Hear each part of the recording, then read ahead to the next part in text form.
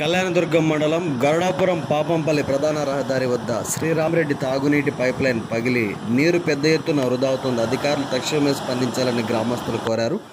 నీరు పైకి ఫౌంటైన్ వల్ల ఎగురుతుండడంతో వాహనదారులు పాదచారులు ఆసక్తికరంగా తిలకిస్తున్నారు.